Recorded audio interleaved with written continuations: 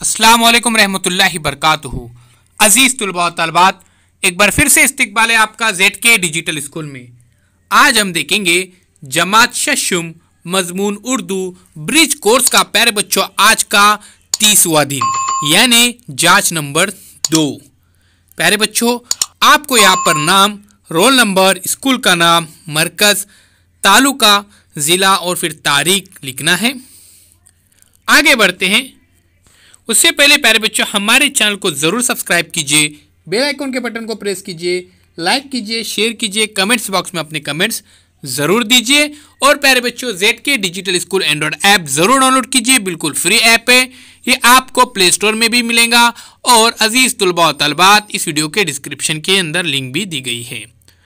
मौलिम दरसियात में से तीन अल्फाज का इमला कहेंगे, जैसे, ज़मीन, आसमान तस्करा तो ये तीन अल्फाज आप लिख सकते हैं।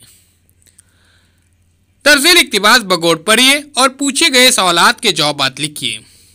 एक मरतबा का ज़िक्र है, तीन कछुए पानी में रहते रहते उगता गए।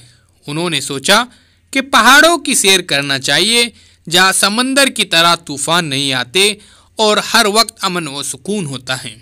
ये सोचकर तीनों पहाड़ की सैर के लिए निकल पड़े। उन्होंने अपने साथ खाने पीने का बहुत सा सामान लिया। उनका सफ़र बहुत लंबा था, क्योंकि समंदर से पहाड़ का फासला सैकड़ों मील का था। अब प्यारे बच्चों, सवालों के जवाब देखते हैं, कछुए कहाँ रहते थे? तो प्यारे बच्चों, कछुए समंदर में रहते थे। कछुए सुकून की तलाश में कहाँ निकले और क्यों?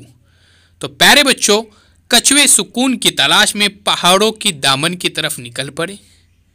क्योंकि वो पानी में रहते रहते उकता गए थे। और उन्हें अमन व सुकून चाहिए था। आगे देखते हैं, समंदर से पहाड़ का फासला कितना था। तो आप देख सकते हैं, समंदर से पहाड़ का फासला सैकड़ों मील का था। काफ़ी लंबा फासला था ये। आगे देखते प्यारे बच्चों। सवाल नंबर तीन दर्जेल नज़म बगौर पढ़िए और पूछे गए सवालात के जवाब लिखिए। गंगोत्री से निकली कैसी उछल उछल कर।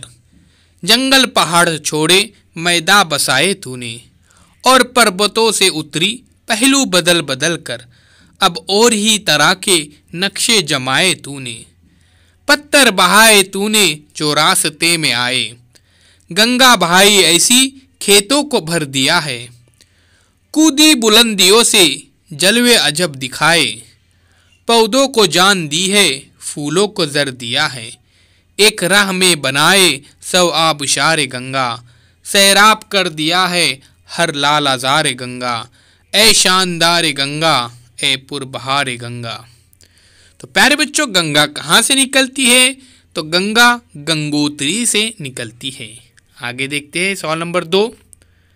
गंगा के मुतलिक अपने अल्फाज में मालूम लिखिए। तो प्यारे बच्चों, आपको गंगा के बारे में मालूम लिखनी है।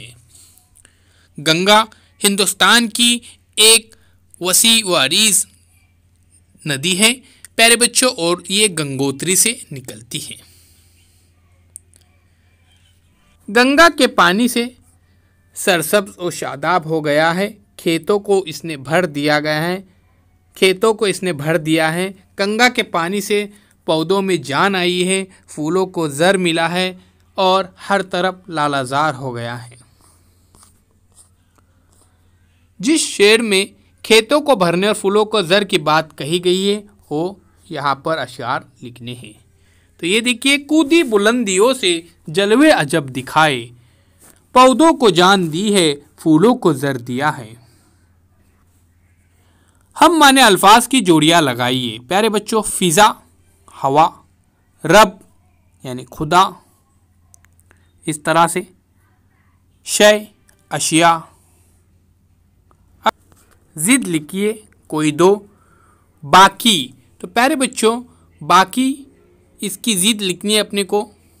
फना। उसके बाद, बहर, बर। बहर आज़म और बर आज़म। बहर के मानी, प्यारे बच्चों, पानी भी होती हैं और बर के मानी खुश्की होती हैं। आगे देखते हैं। बादशाह डैश के किनारे बैठकर देख रहे थे। तो नदी के किनारे